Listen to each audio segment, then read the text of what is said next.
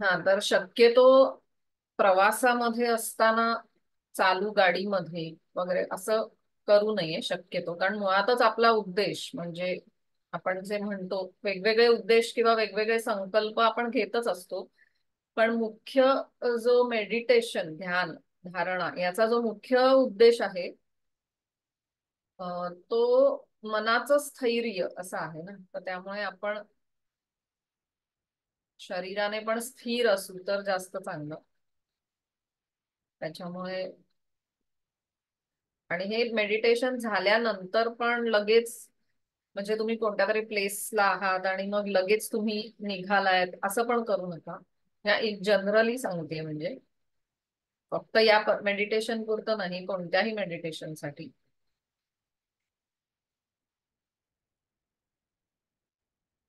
तर मला वाटतं आपण सुरू करूया. मुख्य विषय जो आहे तो सांगते.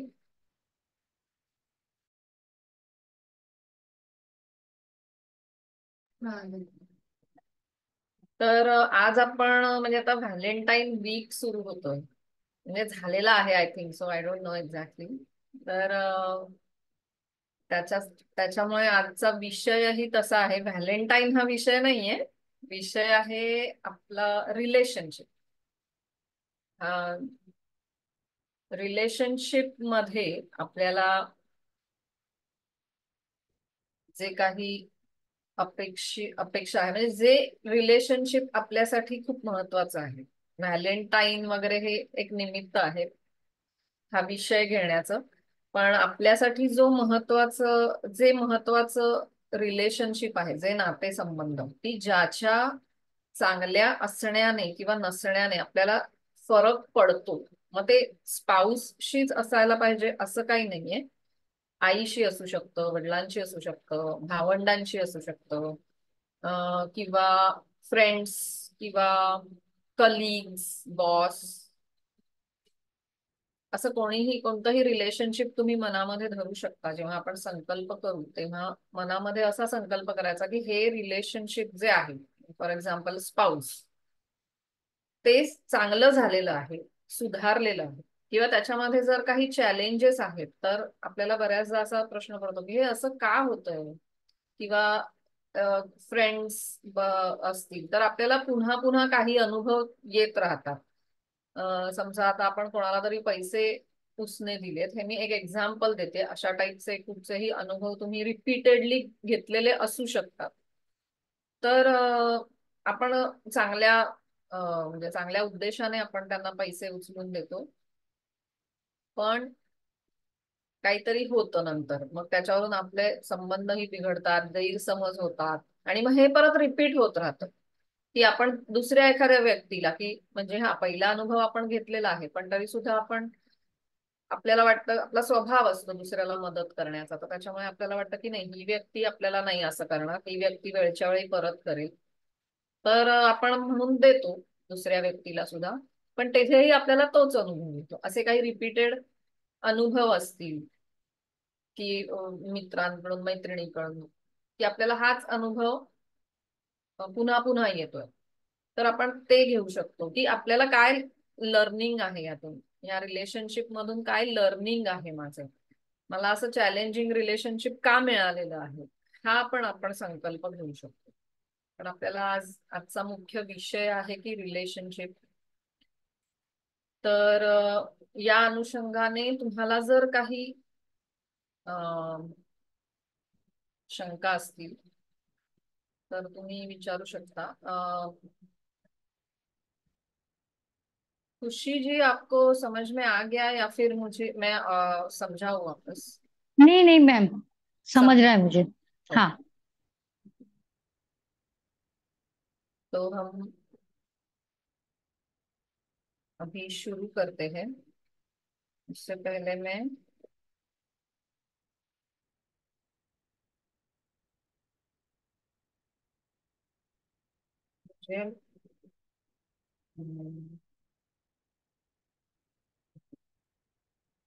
या तुम्हाला कोणाला काही शंका असतील,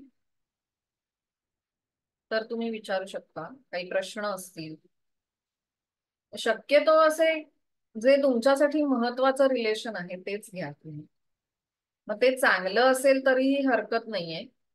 पण शक्यतो ज्या रिलेशनशिपमध्ये काही चॅलेंजेस आहेत ते जर तुम्ही घेतलं तर जास्ती बरं. कारण आपल्याला इथे ते चॅलेंजेस कसे ते काय येत आहेत चॅलेंजेस किंवा ते दूर करायचे आहेत.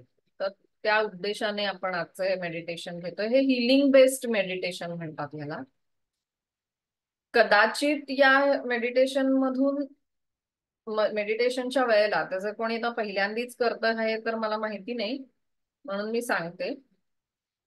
की आपला एक असा म्हणजे काय म्हणतात एक्सपेक्टेशन असतात की हा खूप काहीतरी छान वगैरे असं वाटलं पाहिजे. तर छान वाटतं ऑफकोर्स पण ते थोडंसं नंतर म्हणजे मेडिटेशन झाल्यानंतर वाटतं. काही काही वेळा असं होतं की आपल्याला काही म्हणजे रडायला येऊ शकतं. किंवा काही दुःखद अनुभव येऊ शकतात. कुठे पेनिंग होऊ शकतं. फिजिकल बॉडी किंवा खूप असा राग येऊ शकतो. म्हणजे इमोशन्स काय म्हणतात त्याला? असे वरती येऊ शकतात सरफेस होऊ शकतात. तर अशा प्रकारे मेडिटेशन चालू असताना असेही काही अनुभव येऊ शकतात. तर बी ओपन जे होतंय ते चांगलं होतंय. चांगल्यासाठीच होतंय. हा विश्वास ही श्रद्धा मनात ठेवा आणि करा. तर नक्कीच तुम्हाला चांगले त्याचे अनुभव येतील. तर आपण आजचं मेडिटेशन सुरू करूया. सगळ्यांनी डोळे मिटून घ्यायचे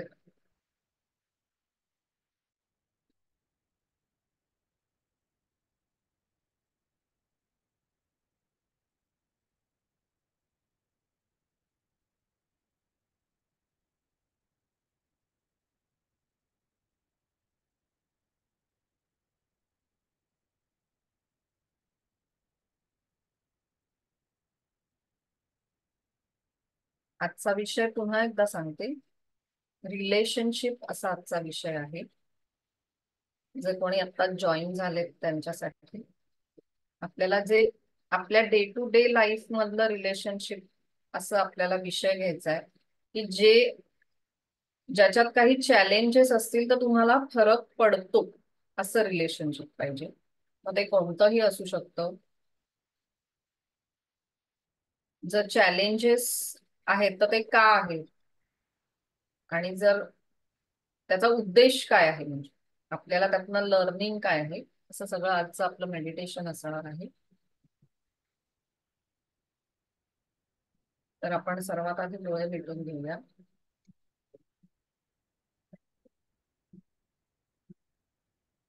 संपूर्ण लक्ष श्वासावर केंद्रित आहे.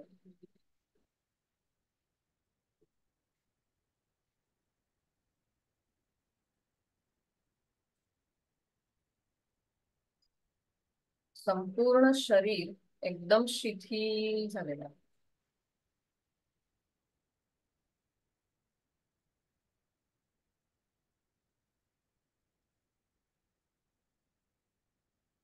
मनानेच एकदा संपूर्ण शरीर शिथिल असल्याचं चेक करायचंय. कपाळ विशेषतः खांदे. आपण काही रिलेशनशिपचं ओझ नकळतपणे आपल्या खांद्यावरती वागवलेलं असतं वाहले वाहत असतो आपण.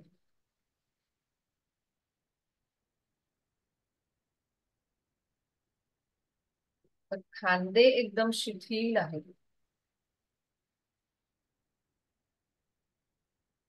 कपाळ एकदम शिथिल आहे.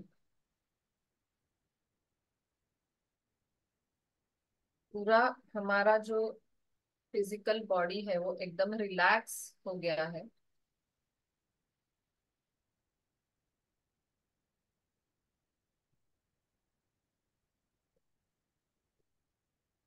आपल्या आवडत्या देवी देवतांना विशेषतः कुलदेवतेला आपण आवाहन करायचंय किंवा तुमचे जे कोणी गुरु असतील तुम्ही ज्यांना मानत असाल श्रद्धा तुमची ज्यांच्यावर आहे त्यांना आवाहन करायचं. आणि त्यांना आपला उद्देश संकल्प हमारा जो आज का मेडिटेशन का जो संकल्प है वो उनको बताना है.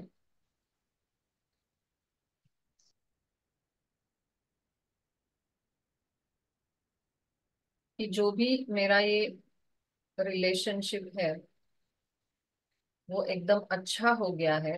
माझं जे काही हे रिलेशनशिप आहे मनात तुम्ही त्या व्यक्तीशी असलेलं तुमचं नातंही घेऊ शकता किंवा त्या व्यक्तीचं नावही घेऊ शकता. ते एकदम सुधारलेलं आहे. त्याच्यामध्ये जे काही मला चॅलेंजेस आहेत त्यातून मला जे काही लर्निंग आहे त्याचं एक अंडरस्टँडिंग मला आलेलं आहे.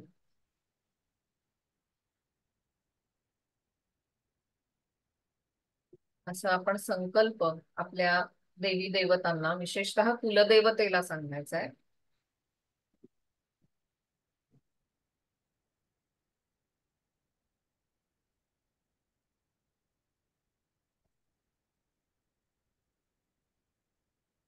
तीन वेळा आपण ओंकार करणार आहोत.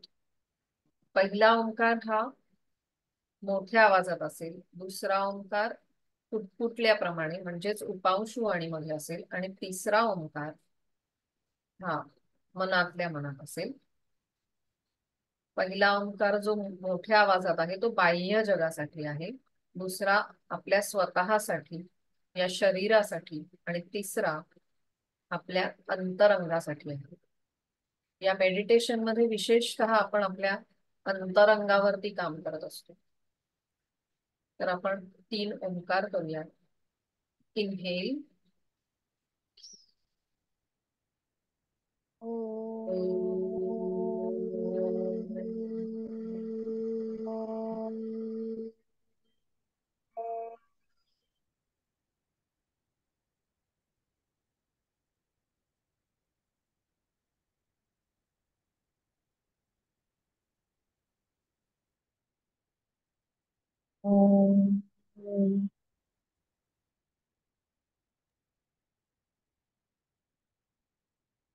दुसरा ओंकार इनहेल उपांश आणि मध्ये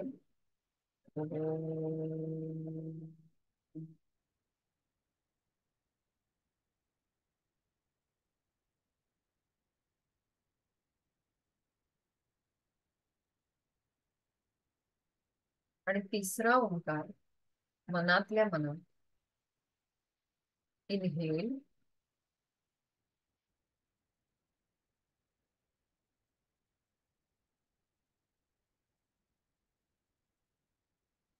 या ओंकाराची स्पंदन. संपूर्ण शरीरावर आपल्याला जाणवत आहे feel the vibrations of Omkar.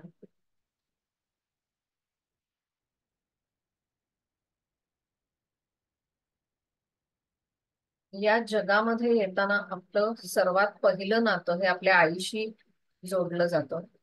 त्याच्यामुळे आपल्या आईला स्मरण करून तिला पण आपला संकल्प सांगायचा आहे ती सुद्धा आपल्या पाठीशी आहे. जर तिच्याशीच असलेलं रिलेशनशिप आपण घेतलेलं असेल तरीही काही हरकत नाही. तिला आपला संकल्प सांगायचा.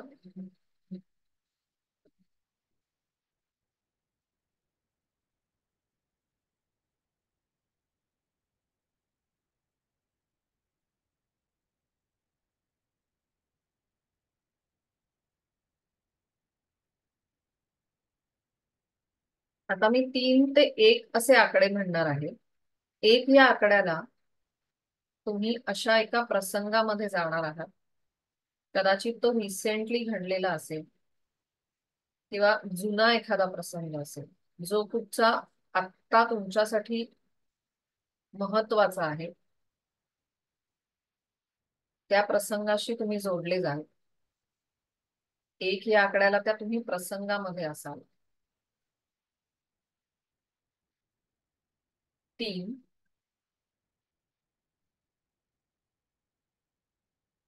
त्या प्रसंगाकडे तुम्ही जात आहात. अनेक प्रसंगांमधला एक प्रसंग तुम्ही सिलेक्ट केला आहे. दोन. आणि एक. त्या प्रसंगात आता तुम्ही पोहोचलेले आहात.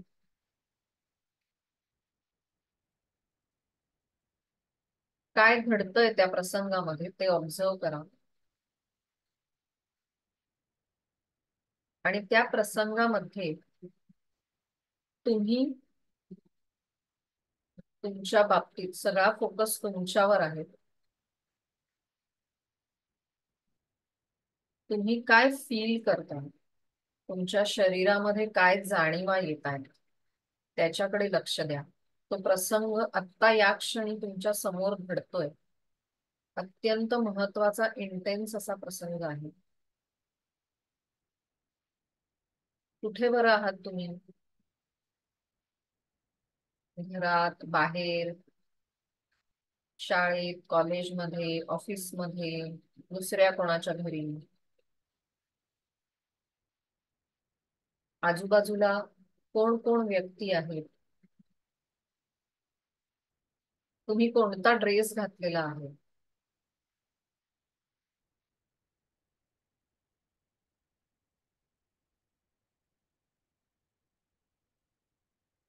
हा प्रसंग घडला तेव्हा तुमचं वय काय आहे? अगदी छोटेपणचा प्रसंग आहे रिसेंट आहे का?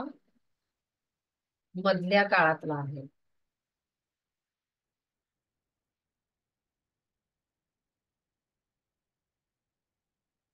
आणि हा प्रसंग चालू असताना तुमच्या शरीरामध्ये काय काय घडतं? तुम्हाला काय वाटतंय? पुन्हा एकदा तो प्रसंग आपल्याला जगायचा आहे थोडक्यात. काय वाटतंय तुमच्या शरीरावर? काय उमटतंय? कुठे पेनिंग होत असेल? अत्यंत इंटेन्स असा प्रसंग आहे. म्हणजे तुमच्या एक तर तुम्ही दुसऱ्यांना काहीतरी बोलत असाल किंवा दुसरे तुम्हाला काहीतरी बोलत असतील तेव्हा तुमच्या शरीरात काय जाणवतंय? याच्याकडे लक्ष. कुठे पेन होईल किंवा कुठे टिंगलिंग सेन्सेशन जाणवेल कुठे जडत्व आहे.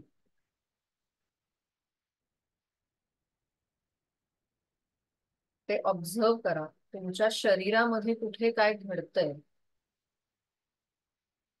आणि तिकडे श्वास पोहोचवायचा है मनानेच.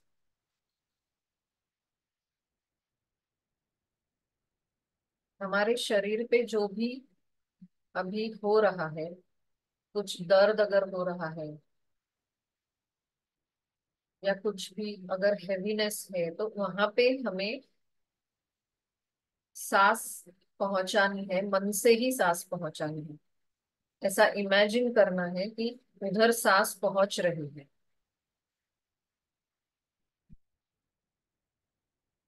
जर तुम्हाला रडायला आलं तर अगदी बिनधास रडा. जर तुम्हाला राग येतोय असं वाटत असेल तर तो राग कुठे आहे? समजा डोक्यात असेल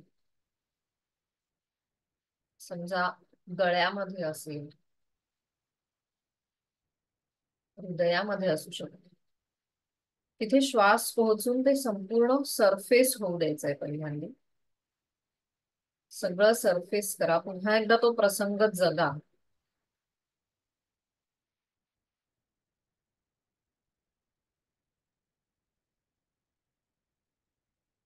हाच प्रसंग आपल्याला दिसतोय. याच्या मागे काहीतरी उद्देश आहे.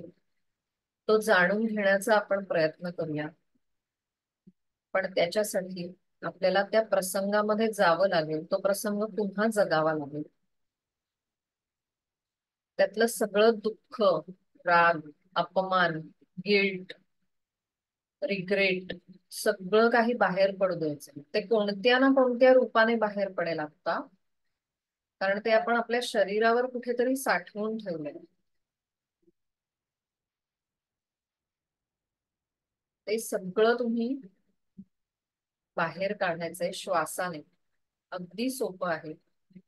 श्वास तिथे पोहोचवायचा आहे तो प्रसंग जगत असताना जे काही तुम्हाला वाटतंय ते बाहेर पडू द्यायचंय.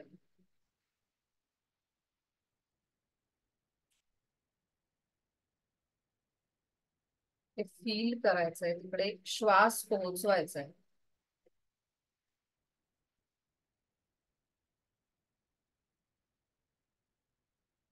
जे काही साठवून ठेवलेलं आहे आपणच आपल्यामधून ते सगळं बाहेर काढायचंय. कारण याचा कुठेतरी परिणाम आपल्या रिलेशनशिपवर होतोय. ते सगळं बाहेर काढा श्वासामार्फतच बाहेर काढायचंय. आणि त्या श्वासालाच सांगायचंय की हे सगळं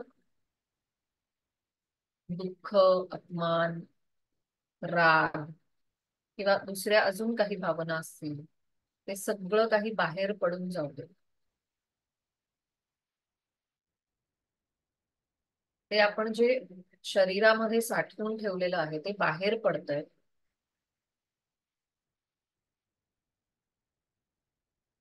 त्याचा निचरा होऊन जाऊ दे. वो सब बहजाने दो जो भी हमने शरीर में छुपा के रखा है बचा के रखा है वो सब बह जाने दो।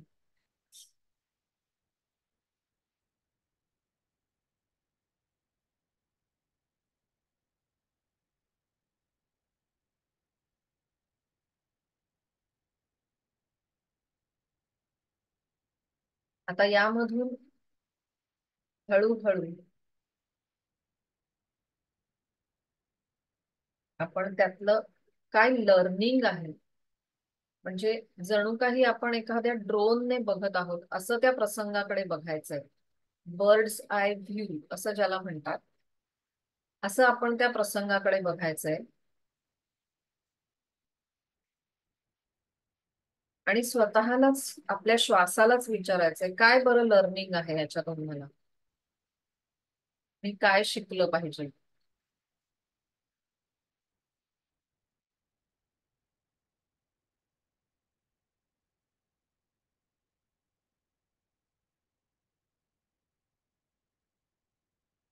जोपर्यंत ती भावना ते दुःख पूर्णपणे निघून जात नाही तोपर्यंत तिकडे श्वास पोहोचवायचा आहे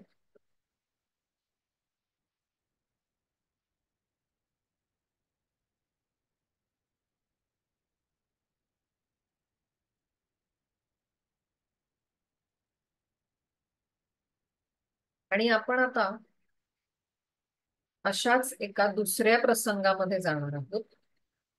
मी पुन्हा एकदा तीन ते एक असे आकडे मिळते कदाचित या प्रसंगाचा आधीच्या प्रसंगाशी संबंध असेलच असं नाही. पण जो कोणता महत्त्वाचा प्रसंग आहे त्याच्याशी तुम्ही नक्की जोडले जाल. मी तीन ते एक आकडे म्हणत आहे. तीन आता अनेक प्रसंगांपैकी कोणता तरी एक प्रसंग तुम्हाला आठवलेला आहे. तुम्हाला जो आत्ता या क्षणी प्रसंग आठवलाय तोच तुमच्यासाठी गरजेचा आहे. त्यामुळे ह्याच प्रसंगाला पुन्हा अनुभवायचा आहे जरी तो तुमच्या संकल्पाशी मेळ खात नसला तरीही आत्ता जो प्रसंग तुमच्या डोळ्यासमोर आलाय मनात आलाय तोच प्रसंग तुमच्यासाठी योग्य आहे यावर विश्वास ठेवायचा दोन आता हळूहळू त्या प्रसंगात तुम्ही जाताय. एक या आकड्याला तुम्ही त्या प्रसंगात पोहोचलेले असाल. आणि एक. त्या प्रसंगामध्ये तुम्ही पोहोचलेले आहात. आता बघायचंय त्या प्रसंगामध्ये काय घडतंय. तुमचे पाय ऑब्झर्व करा. पायाला कसला स्पर्श होतोय? जमीन आहे का एखाद्या मैदानात आहात? का एखाद्या वाहनामध्ये आहात? की अजून काही. कुठे आहात तुम्ही? एखादी खोली आहे घर आहे. तुमचं वय काय आहे?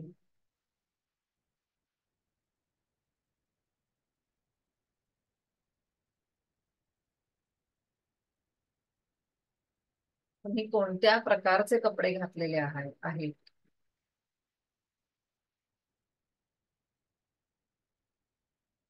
आणि आता तो प्रसंग पुन्हा एकदा जगायचा पुन्हा एकदा अनुभवायचा.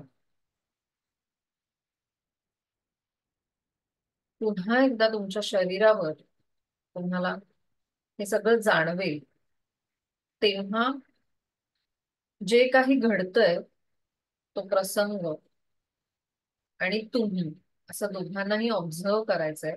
त्याच वेळी तुमचं लक्ष श्वासावर आहे.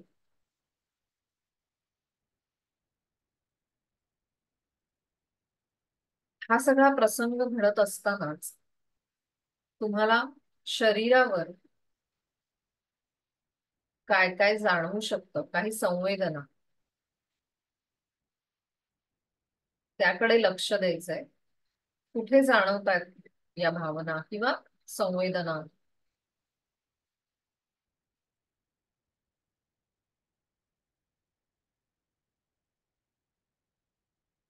तो प्रसंग पुन्हा एकदा जगताना एक वेगळी दृष्टी तुम्हाला मिळत आहे. पण त्याच वेळेला तुम्ही जे काही शरीरामध्ये साठवून ठेवलंय ते तिथे श्वास पोहोचवून बाहेर काढायचंय. आपण खूप गोष्टी नकळतपणे कळतपणे कळत समजून उमजून साठवून ठेवलेल्या असतात ज्या आपल्यासाठी गरजेच्या नसतात.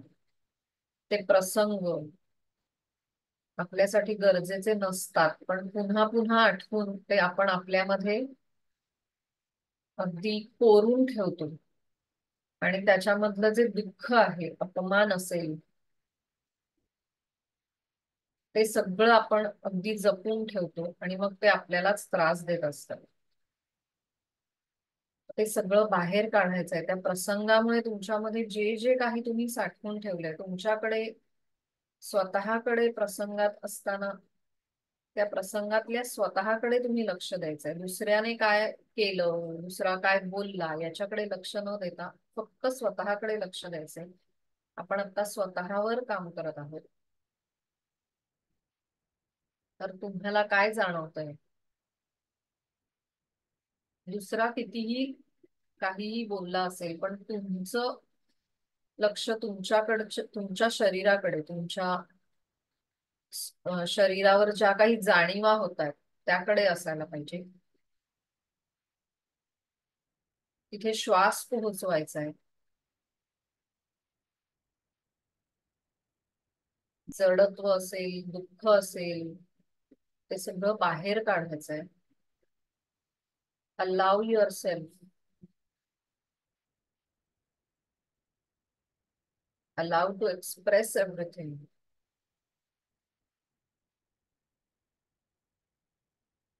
याच वेळी तुम्हाला जर खोकला आला शिंक आली जांभई आली तर कशावरही बंधन ठेवायचं नाहीये.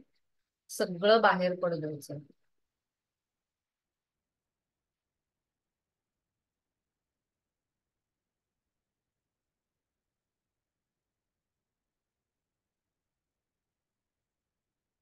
सगळं काही बाहेर काढायचंय तिथे श्वास पोहोचवायचा हा जो श्वास आहे जो आपल्या जन्मापासून सतत आपल्या बरोबर असतो. आणि ज्याला आपण सर्वात इग्नोर करतो. तो सर्वात मोठा डॉक्टर आहे खर तर. त्याला आपण सांगितलं तरी तो सगळ्या गोष्टी सुरळीत करत असतो. त्याला सांगायचंय हे सगळं बाहेर पडलं. सगळं निवळू दे. जे काही मी जाणते अजाणतेपणी साठवून ठेवलंय त्याचा निचरा होऊ दे. असं आपल्या श्वासाला आपण सांगायचं.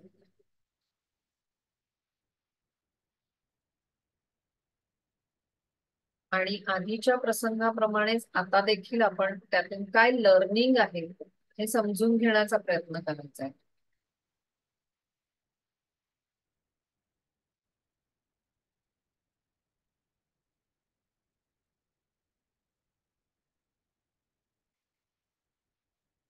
काय बरं लर्निंग आहे?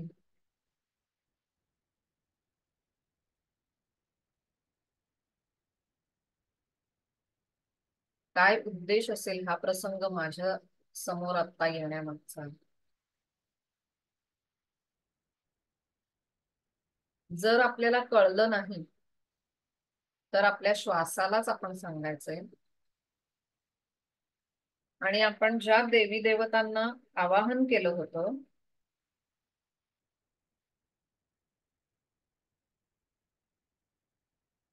त्यांना देखील हे सांगायचंय.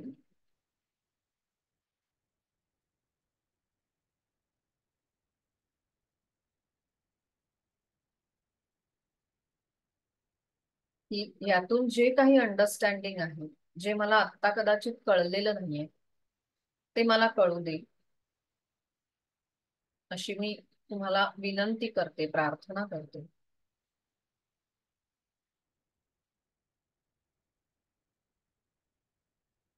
आणि त्यांना थँक्स द्यायचे. त्यांनी येऊन आपल्याला जे मार्गदर्शन केलेलं आहे.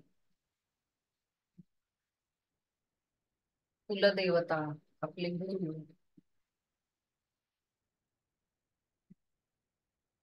यांना खूप खूप धन्यवाद द्यायचे.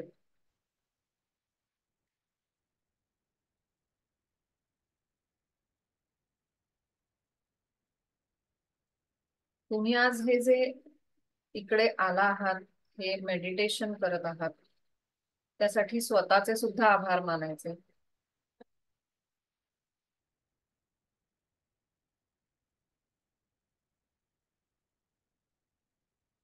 जी देवी किंवा देवता किंवा गुरु यांचं स्मरण आपण केलं होतं ते तुम्हाला भरभरून आशीर्वाद देत आहेत.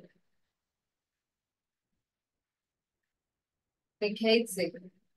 कोणत्या रूपात असतील? किंवा तुम्ही जर त्यांच्याकडे प्रार्थना केली असेल की मला अंडरस्टँडिंग येऊ दे तर ते तुम्हाला काहीतरी मेसेज देतील काही वस्तू देतील काही गिफ्ट देतील. तर त्याचा स्वीकार करायचा आहे मोकळ्या मनाने. ते काय आहे? त्याचा अर्थ काय? हे आत्ता काहीही विचार करायचा नाहीये. फक्त मोकळ्या मनाने ते स्वीकारायचे. तेच तुम्हाला त्याचा अर्थ सुद्धा सांगतील. असा विश्वास अशी श्रद्धा ठेवायची. तीन ते चार दीर्घ श्वासाची आवर्तन करायची आहेत.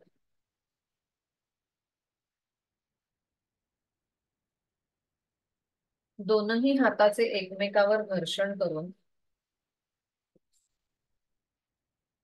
ती ऊर्जा प्रथम डोळ्यांना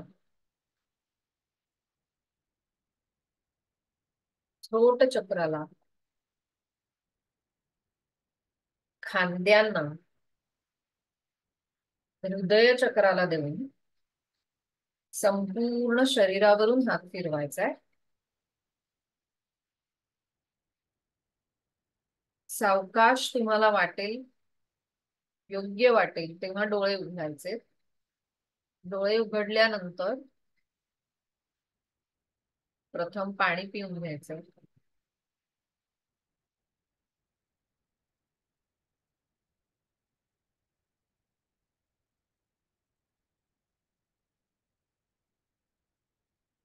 आणि काहीतरी गोड खायचंय. धन्यवाद. हरिओम.